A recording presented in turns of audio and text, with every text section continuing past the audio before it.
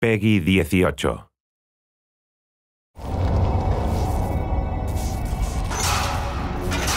When you play Doom, it just it feels different.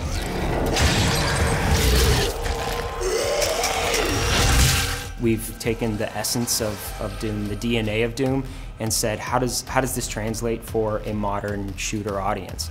It's exciting. It creates that feel that is unique to us, and you know that's why we do this: is to create uh, experiences that are that are unique and are something that is distinctly ours. It starts with combat, the fluidity of movement, the speed of movement, using your guns in, in really effective ways and feeling connected to the weapons, the responsiveness of the weapons. Doom is about, about guns first and foremost and, and you know, fighting demons with guns. I think the designers here did a great job. I mean, they, they, they really tried to make each weapon distinct each one kind of has its own style to it. For example, the shotgun's kind of an up close and personal weapon, but you can modify it so it has an alternate fire that can, you can, it works from a distance.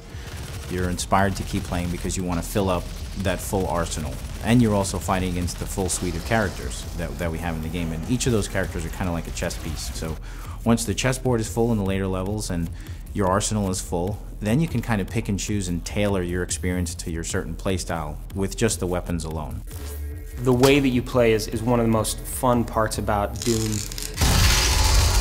Your Argent energy you've just taken into your system.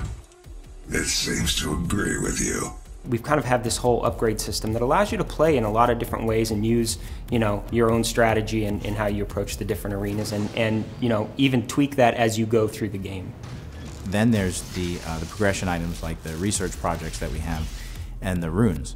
Uh, each of those basically allow you to customize your, your character and, and the way the game plays and the way it feels. I like to tailor my experience to uh, speed. Make it so I can glory kill faster, I can mantle faster, I can switch mods faster, I can do all these things just a little bit faster. And once you stack these things on top of each other, the game just plays even faster than it already does, which uh, out the box it's, it's pretty, pretty fast. So, uh, but that's my personal playstyle.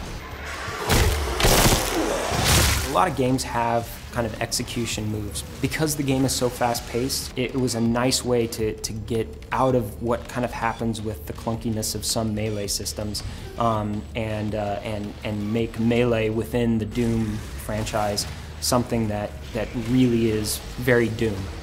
It's uh, contextual. Anywhere that you look, you actually glory do a different glory kill on a character. So if I approach a character from behind, I'll do a certain type of glory kill. And it all feels very fluid. I've played the game for a crazy amount of time and I still love doing it. It's not a casual game where you can kind of, you know, be doing something else while you play, especially in the arenas. You know, they're, they're very challenging in, a, in the best possible way.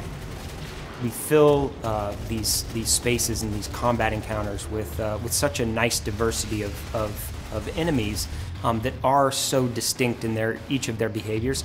It's kind of like a mental chess game that's happening at a million miles an hour. You could turn a corner, there's a Mancubus. You're probably going to want to switch to a chain gun or a rocket launcher or, or Gauss cannon, whatever is your, is your favorite heavy type weapon. All these things are kind of happening really fast, and it makes for an incredibly engaging experience.